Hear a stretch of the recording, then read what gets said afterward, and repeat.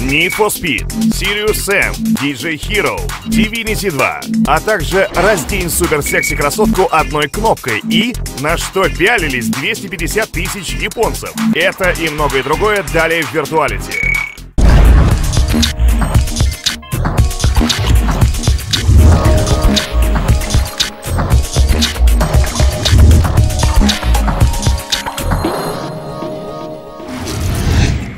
Привет, меня зовут Макс Васильев, и это Виртуалити. В ближайшие полчаса вас ждет только самая новая и интересная информация из мира видео, игр и компьютерных развлечений. PC-шники, вас ждет очередной облом. Call of Duty Modern Warfare 2 выйдет на 10 дней позже консольной версии. Так вот, пока штампуются диски с игрой, компания Activision заявила, что очень хочет сделать фильм по своему проекту. Честно говоря, немного странное решение, если учесть, что эта серия Call of Duty постоянно заимствовала из кинофильмов самые запоминающиеся моменты. Но поживем увидим, а пока посмотрим, какие еще игры появятся в ближайшее время.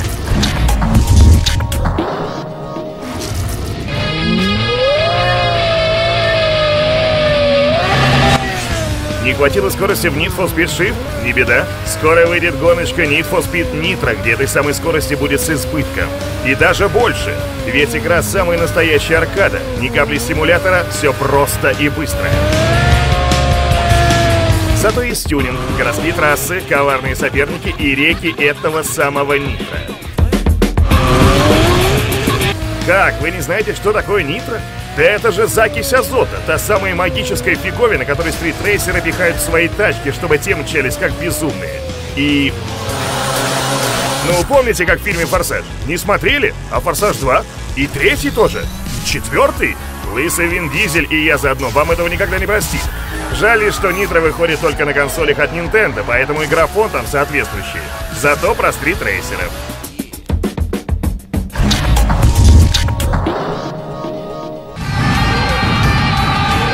Устали от нудных экшенов и заумных шутеров? Бесит обилие диалогов в играх и пафосные речи? Так хочется заявить им всем. Да потому что это серьезный Сэм. Да, тот самый старина Сэм, что радовал нас тупами самых разных противников, тупо набегающих со всех сторон и огромными боссами. А серьезно он потому, что наконец-то добрался до телевизоров высокого разрешения и получил приставку HD к названию. Изменилась только графика.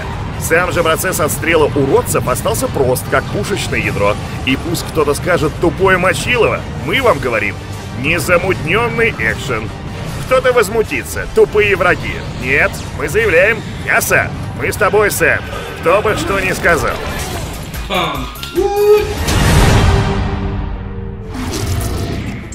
После такого заряда бодрости хочется чего-нибудь экзотического. Кстати, вы знаете, что в Японии недавно закончилась очередная игровая выставка?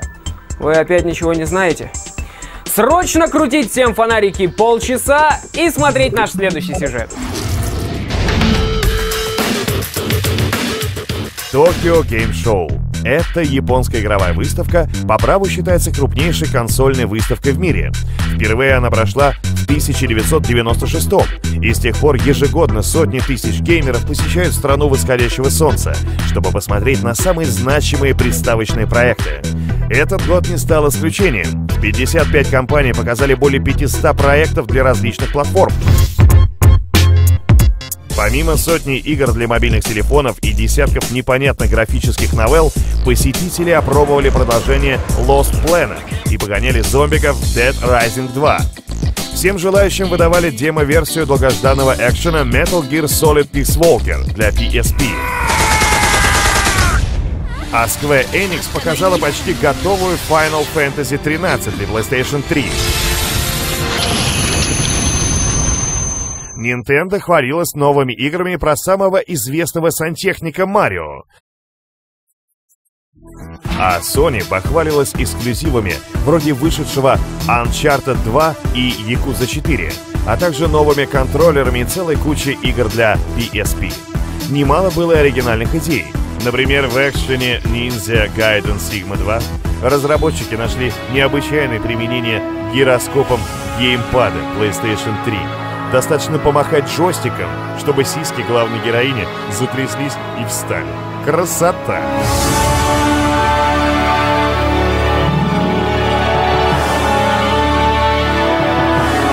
Один только Гайзен Xbox 360, как это принято в Японии, оставался в тени со своей системой управления Project Natal. Что поделать, шутеры вроде Halo 3 ODST японцы не любят. Зато всяких странных игр вроде симулятора машиниста метро или игр про японских школьниц было в избытке. Девушки-стендистки в костюмах этих школьниц тоже радовали глаз. Так же, как и традиционная японская забава косплей, то есть переодевание в героев известных игр. В общем, громких сенсаций на выставке не было, но обилие консольных проектов снова показало всему миру, кто рулит на рынке видеоигр. Сайонара, Япония.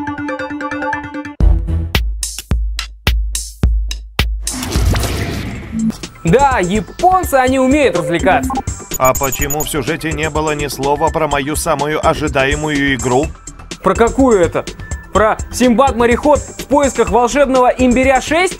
Нет, это игра про женщину моей мечты. Ну как? Заинтересовал? Ну-ка давай, колись, кто она? Она умна, дерзка, красива, опасна и дьявольски сексуальна. А как стремительно она двигается, как грациозно порхает в воздухе, разя врагов смертоносным оружием. Зовут эту прелестницу Байонета. И никому даже в голову не придет, что ей стукнуло уже несколько сотен лет. А все потому, что она ведьма. 500 лета Байонета пролезала в волшебном сне. А когда она проснулась, то ничего не помнила о своей прошлой жизни. Совсем ничего. В руках у нее было оружие, а вокруг оказались враги, которым что-то от несчастной девушки нужно. Они не знали, что нужно. Но Байонета не просто красавица, но и отличный воин. Тварям, разбудившим ведьмочку, пришлось несладко. Эта красотка способна за считанные секунды приготовить из неприятелей кровавый гуля. Розмарин, тимьян, петрушка и шалфей придадут этому страшному блюду известную остроту. Дело в том, что так разработчики назвали оружие байонетты. Вы спросите, почему приправы?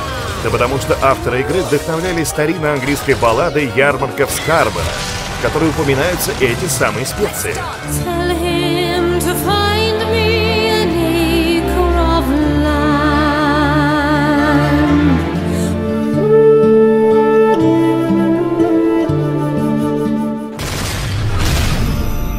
Кстати, баллада нашла свое воплощение и в дизайне уровня.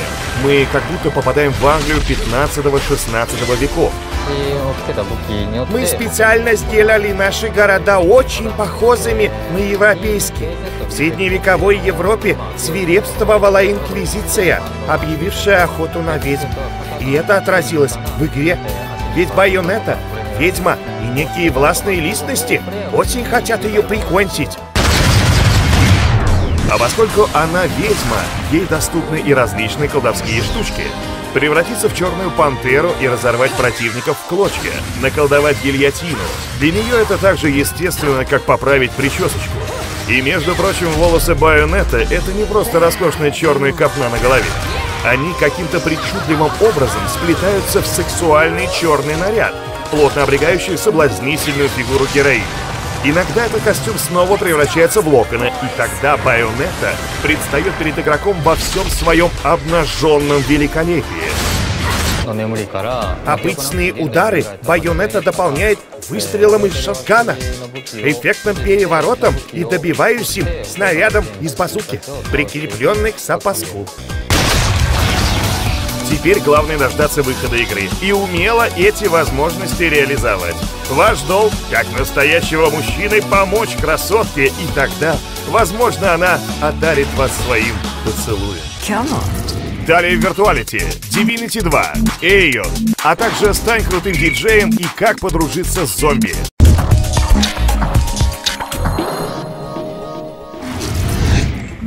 Это Виртуалити, мы вернулись. Японцы придумали Blu-ray диск, способный хранить 320 гигабайт информации.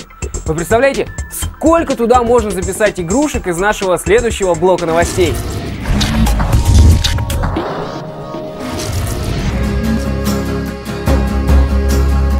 чудовище вида прекрасного, схватили ребенка ужасного, затащили его в волшебную страну и сделали своим королем.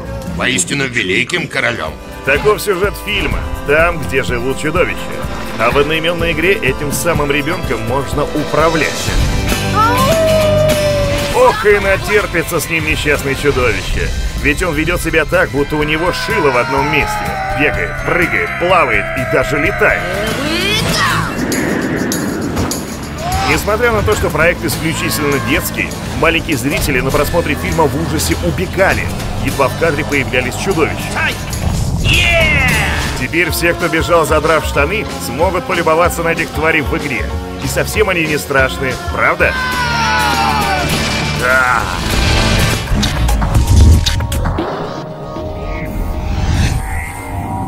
И треснул мир напополам. Дымит разлом. Нет, это не ночной дозор. Это пострадала планета Атрея в ММО-РПГ Эйо.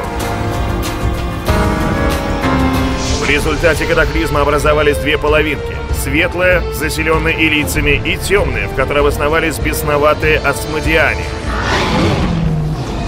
А третья раса — кровожадные балауры. Это настоящие балагуры. Они воюют и со светлыми, и с темными, и даже сами с собой. Не запутались еще кто есть кто? Запутались? Тогда попробуйте себя в недавно начавшемся закрытом бета-тесте проекта. Даже если не удастся завалить парочку балауров, всегда можно воспарить на крыльях, которые выдаются персонажам при регистрации. И главное, никакого разрешения на полеты не требуется. Только вот не вздумайте в воздухе это, ну, того, а то поймают и по шапке дадут, даже если вы девушка.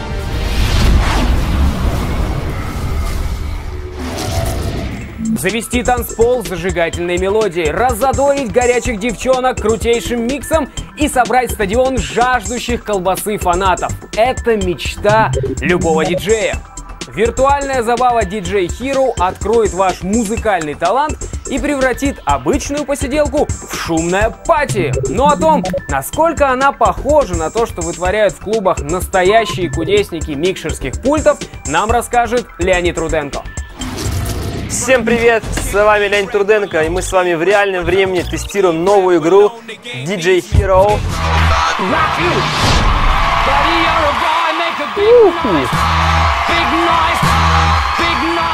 А, блин. Кайф.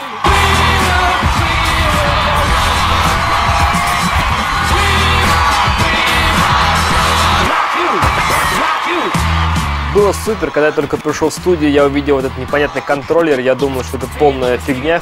Черт, какая-то очень сложная фигня.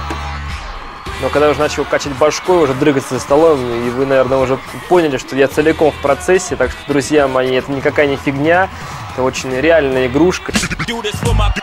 Кстати, играю я очень известным персонажем, Grandmaster Flash. Это человек, который в реальности существует. My name is Grandmaster Flash. После того, как мы выбрали все необходимые пункты меню, каким диджеем будем играть, на какой площадке какие песни, и переходим к основной части. Здесь мы видим три кнопки. Зеленую, красную и синюю. Каждая из этих кнопок отвечает за одну дорожку. Всего в игре три дорожки. Зеленая и синяя дорожки, они отвечают непосредственно за звук. Это те песни, которые мы э, микшируем. Красная дорожка у нас отвечает за звуковые эффекты. Здесь находится кроссфейдер. Микширует в единое целое звук слева и справа канала, в данном случае зеленая и синяя кнопка. Ну, мне кажется, я сейчас достаточно неплохо прохожу. О, ура, у меня получился наконец-то скретч. А. Вот сейчас был сложный момент. Я просто не успеваю попадать в клавиши. Самое главное привыкнуть, под каким пальцем какая кнопка. Мы сейчас пользуемся кроссфейдером. И обратно. Фак. А когда ты набрал определенное количество очков, это много 23 тысячи очков, тебе доступен режим эйфории, начинает моргать кнопочка черная. Ты на нее нажимаешь, и на какое-то время, пока действует эйфория, ты можешь, соответственно, кайфовать. То есть э, левую руку, если ты кроссфейдер держишь под левой рукой, ты поднимаешь, качаешь народ, а все-таки правая кноп... э, рука у тебя остается задействованной, нажимая кнопки.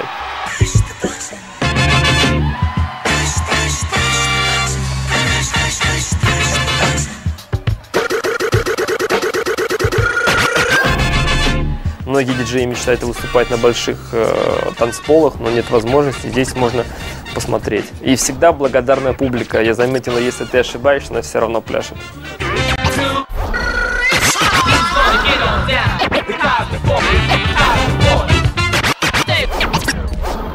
Эта музыка, она не пригрузит после работы в клубе, она наоборот э, способна отвлечь, поскольку это нечто иное. В общем, только положительные эмоции. Главное, колоночки побольше, чтобы музяка качала. Далее в виртуалити. Что делать, если бывшие подельники хотят вас убить? И как стать самым сильным и ловким?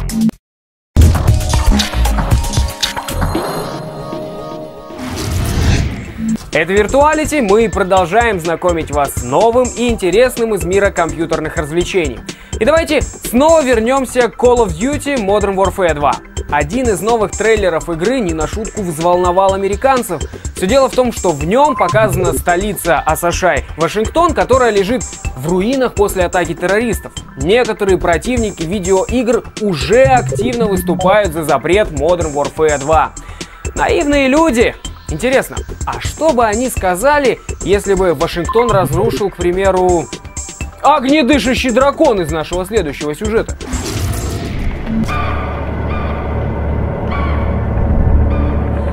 Сотни лет Ревелон был образцовым королевством, но внезапно пробудилось древнее зло, и процветающая страна уже никогда не будет такой, как прежде.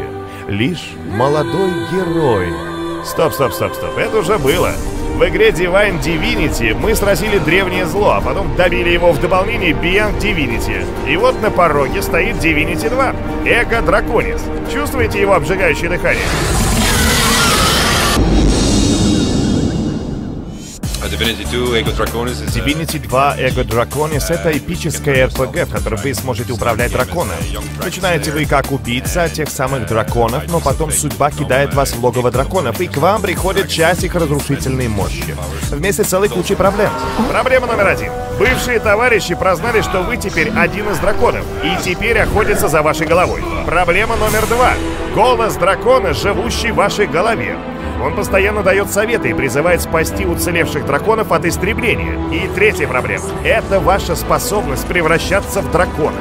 Вроде бы быть большим и сильным это круто, но подумайте, как огромному дракону найти ночлег и где восстанавливаться после полученных ранений, а? Ну скажите, где?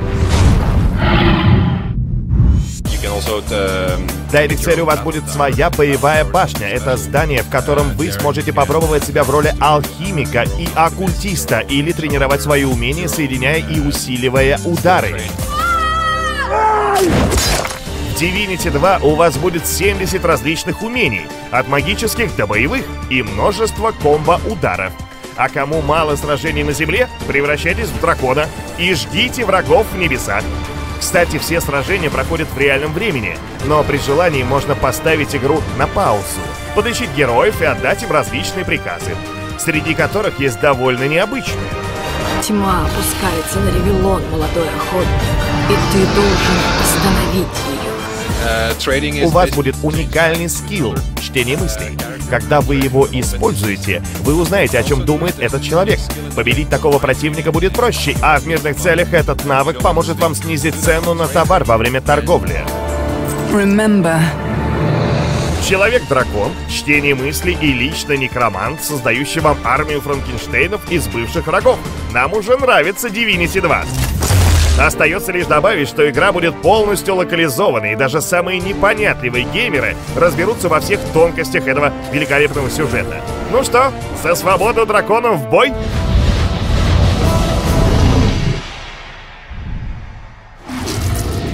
Конечно, странно, что главный герой Divinity 2 слышит в своей голове голос дракона. Но вы знаете, он далеко не одинок в таких странностях. Наш киберспортивный обозреватель Лисориус тоже признался, что частенько в его голове звучат потусторонние голоса. Хотите проверим? Итак, Лисориус, скажи, а ты сейчас слышишь в голове какие-нибудь голоса? Да, Макс, слышу тебя! слышу, но с трудом. Итак, здесь, в самом центре Москвы, обнаружилось большое скопление геймеров. Грохочет музыка, а публику развлекают различными шоу. С финалами World Cyber Games Россия, так всегда, с виду праздник, на самом деле серьезный турнир.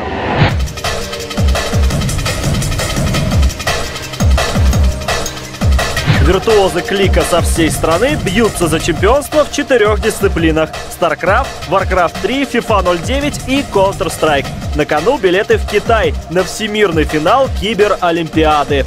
Участников больше сотни, конкуренция жуткая и велик соблазн добиться успеха любой ценой. Про геймеры – народ горячий, где не хватает мастерства, давят авторитетом. На языке геймеров это называется мошнить. Много было различных ситуаций, много было попыток ввести судейство в заблуждение. Дошло до дисквалификации одной из команд. Впрочем, есть и примеры настоящего спортивного благородства. Финалист Старкрафта Игорь Уткин банально подарил золото соклановцу Павлу Кузнецову. Протас утюжил тирана, однако написал GG. Чудак-человек, но утверждает, что все сделал правильно. В игре, когда был счет 1-1 и я понял, что выигрываю, я осознал, что я по сравнению с Пашей недостоин вот просто взять и выиграть в ЦГ. Победитель в дисциплине Warcraft 3, верховодец нежити Дмитрий Костин, напротив, сантиментов не расточает. Его проблема – расплодившиеся зеленокожие конкуренты. Пришло огромное количество арков, которые сейчас всех и вся выигрывают. Из последних 19 турниров где-то 15 выиграли арки. Удар, гол! Весь пьедестал FIFA впервые за историю чемпионатов России заняли москвичи. Секрет успеха столичных дриблеров прост. Тренироваться 2-3 часа в день и... Играть реальный футбол, конечно же. Это несомненное удовольствие. Особенно э, я люблю делать подкаты. Просто доставляет дикое удовольствие. Последняя в торжественном списке – уфимская Counter-Strike пятерка TPU Sports, чей финал против Virtus.pro стал настоящим украшением киберигр. The Inferno, The Train, The Dust 2. Три тура кровавых сертаки вокруг бомбы принесли успех регионалам. Поклонники виртусов не хнычьте. Китай по регламенту отправляются оба призера. Я буду требовать и стараться, чтобы они были максимально собраны, чтобы они показали лучший результат и чтобы они никого не боялись. Такой вот винегрет из хедшотов, криков «Тащи!» и вспотевших мышек.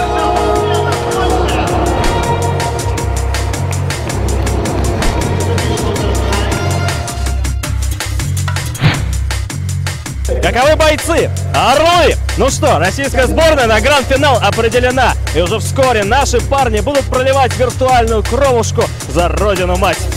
Прости, Макс, нахлынули патриотические чувства.